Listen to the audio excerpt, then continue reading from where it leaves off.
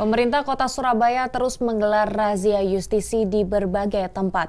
Rabu kemarin, selain mengamankan dua pasangan bukan suami istri, 13 warga terjaring lantaran tidak mempunyai surat izin tinggal. Razia justisi yang dilakukan di kawasan Petemon Sawahan, Surabaya. Rabu siang ini, petugas berhasil mengamankan dua pasangan bukan suami istri. Lantaran tak bisa menunjukkan surat nikah, mereka langsung digelandang petugas untuk didata dan dibina lebih lanjut. Selain itu, petugas juga mendapati 13 warga pendatang yang tidak memiliki surat izin tinggal sementara di Surabaya.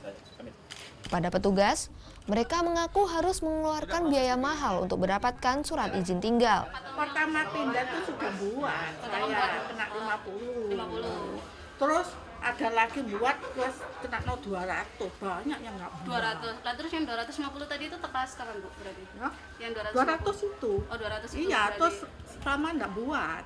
Hmm. itu terlalu mahal semua ya orang keberatan toh.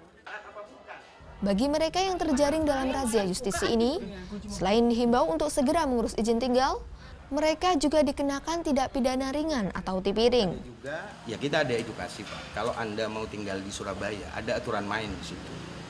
Yaitu harus punya surat keterangan tinggal sementara. Kalau anda tidak taat maka ada sanksi di situ.